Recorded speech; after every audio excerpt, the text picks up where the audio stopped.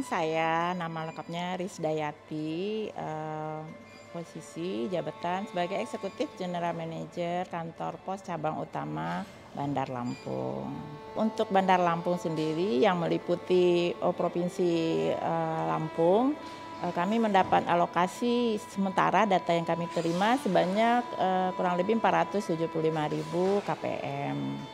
Nah, 405.000 KPM ini kita nanti bagikan dengan cara tiga cara ya seperti biasa uh, di loket-loket kantor pos sendiri, kemudian kita bayarkan di komunitas dan yang ketiga dengan cara pengantaran langsung ke rumah-rumah KPM. Oh, sesuai dengan penjelasan Presiden. Jadi BLT BBM ini kan diberikan selama empat bulan ya dengan besar uang 150.000 per bulan. Nah, untuk tahap awal ini langsung dibayarkan sekaligus dua bulan. Jadi nanti akan diterima oleh KPM sebesar 300.000 per KPM untuk dua bulan. Kita menargetkan memang uh, untuk uh, pembayaran uh, eh, BLT ini biasanya dari pemerintah uh, kita ta targetkan dua minggu untuk penyalurannya. Cuma kami berupaya juga uh, supaya 10 hari itu bisa selesai gitu kan sehingga sisanya kita bisa nggak terlalu banyak lagi.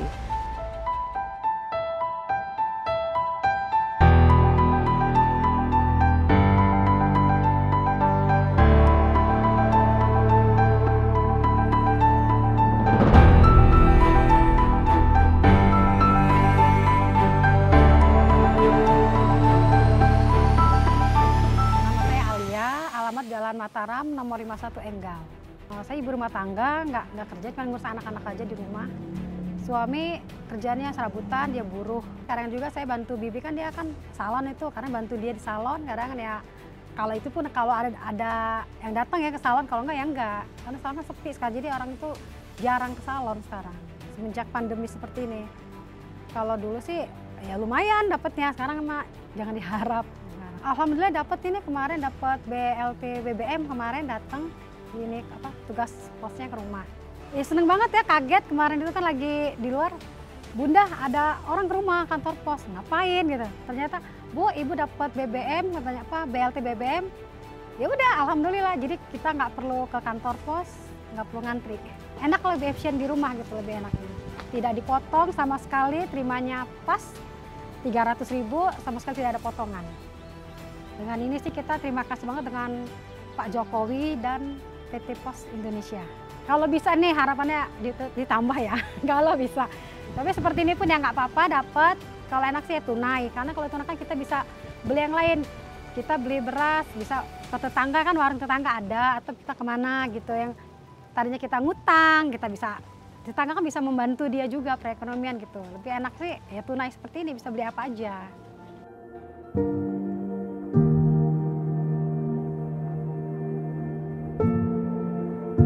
Saya Yuliet Asnusa, tinggal di Jalan Mataram nomor 51 Enggal, Tanjung Karang Pusat, Bandar Lampung. Kegiatan sehari-hari saya ibu rumah tangga, berdampak perekonomian karena sekarang sedang sulit ya Mbak ya. Berdampak sekali pada kehidupan sehari-hari, apa-apa semua serba mahal, serba sulit.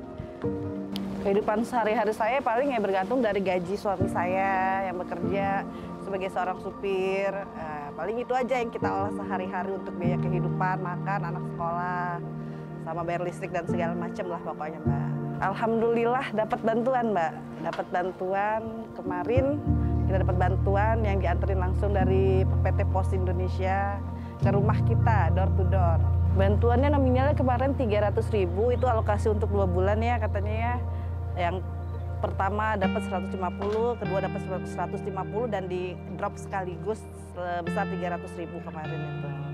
Dan kita gunakan untuk alhamdulillah untuk biaya kehidupan sehari-hari, menopang yang segala kebutuhan kekurangan karena bekas pandemi kemarin. Syaratnya paling KTP kita menunjukkan kita memang memang yang dapat bantuan itu nggak ada pemotongan sama sekali. Uangnya memang sesuai apa yang kita tanda tangan di situ nggak ada pemotongan apa pun.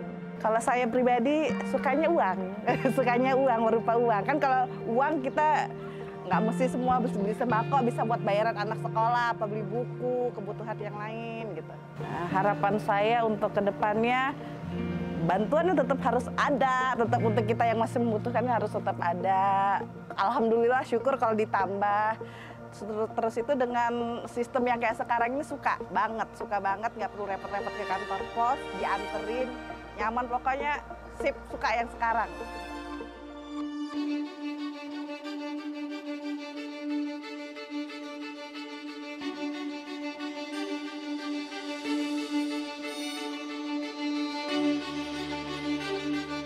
Saya Prayoga Wibilaksono, saya bertugas di KCU Bandar Lampung. Eh, saya ditugaskan kemarin harus mengantarkan 50 KPM secara door to door. Eh, pengalaman saya eh, selama nganter satu hari ini banyak orangnya yang nggak nyangka-nyangka dapat BLT dari door to door ini karena sebelumnya mereka nggak tahu ada pembayaran BLT BBM ini. BLT yang BBM ini penerima itu menerima 300.000 ribu. Eh, per bulannya dibayar 150.000 ribu selama dua kali dua bulan tapi dibayarkan sekaligus bulan ini. Sekali bayar sebesar 300.000 rupiah. Menurut saya sih sudah tepat ya. Eh, reaksinya ya mereka memang sangat membutuhkan apalagi sekarang ini pekerjaan susah apalagi habis pandemi kan. Eh, banyak orang yang di PHK cari kerja juga susah lowongan juga kan. Ya mungkin dengan adanya bantuan ini mereka sangat terbantu lah untuk segi ekonominya. Terima kasih.